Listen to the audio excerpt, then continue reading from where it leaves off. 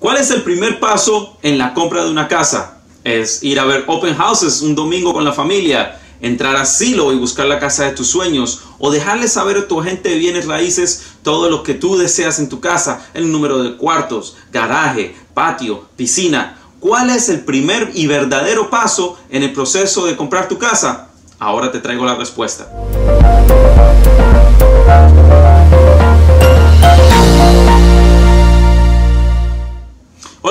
Mi nombre es Carlos Pulido, agente de bienes raíces aquí en el sur de la Florida y estoy aquí para contestar una pregunta que recibo bien frecuente. ¿Cuál es el paso primero, el primer paso en el proceso de comprar tu casa?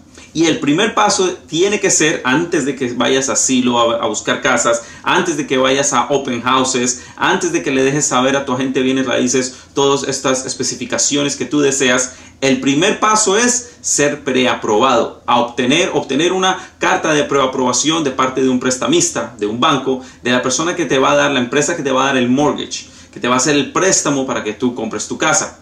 ¿Por qué esto es bien importante de hacerlo primero? Porque lo peor que puede pasar es que vayas a ver casas, te enamores, la casa de tus sueños, la encontraste, tiene todo lo que tú deseas, pero el préstamo que te da el banco no llega a esa cantidad. Cuando el prestamista te da esta carta de preaprobación, ahí te dejan saber, ok, calificaste para un préstamo de 300 mil, 400 mil, 500 mil dólares, lo que sea, basado en tus ingresos y en tu crédito. Entonces, ya cuando tienes esa carta, le dejas saber a tu agente de bienes raíces y tu agente te va a buscar casas basado en esa preaprobación, que están en ese presupuesto. Si cuando las vayas a ver, no te vas a enamorar de una casa que no vas a alcanzar a, pagar porque el préstamo no llega para esa cantidad. Así que ese es el primer paso. También eh, la mayoría de los agentes de bienes raíces no te van a enseñar casas sin antes tú tener esta preaprobación. Esto sobre todo es bien importante en casas de, lujo, de, bastante costo, porque los dueños de estas casas quieren que la gente que vaya a ver sus propiedades sea gente que ya esté preaprobada. Esto demuestra que la persona es seria y que puede, tiene los ingresos y tiene el préstamo para poder comprar esta cierta propiedad. También le da un poco más de seguridad a los dueños de que no va a estar entrando gente a su casa que no están serios o que no pueden pagar este tipo de casa.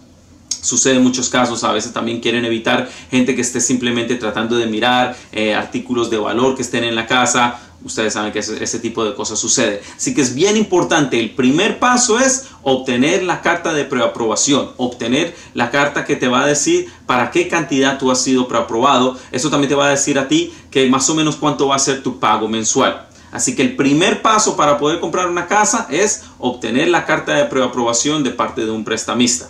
Espero que les haya gustado el video del día de hoy. Recuerden, por favor, si les gustó, ponerle me gusta, dejar un comentario y suscribirse al canal. Y pronto estaremos haciendo más videos dejándoles saber y contestando todas sus preguntas acerca del mundo de las bienes raíces. Y un par de cositas más por ahí también. ¿Ok?